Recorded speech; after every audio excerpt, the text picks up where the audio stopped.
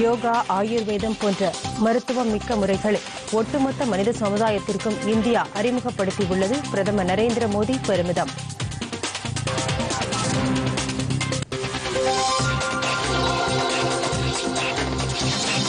ஜமைக்காவிலிருந்து Saint Vincent மற்றும் கிரானடைஸ் சென்றடைந்தார் குடியரசுத் தலைவர் ராம்நாத் கோவிந்த். இந்திய உதவியுடன் மேற்கொள்ளப்படும் வளர்ச்சிப் பணிகளை ஆய்வு செய்கிறார்.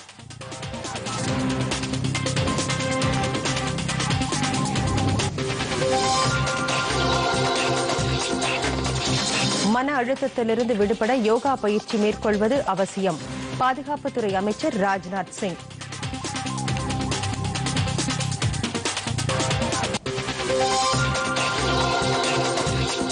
புதிய தொழில் முயற்சிகளுக்கு தமிழக அரசு உறுதுணையாக இருக்கும் கோவையில் தொழில்துறையினருடனான கலந்துரையாடல் நிகழ்ச்சியில் முதலமைச்சர் மு ஸ்டாலின் பேச்சு.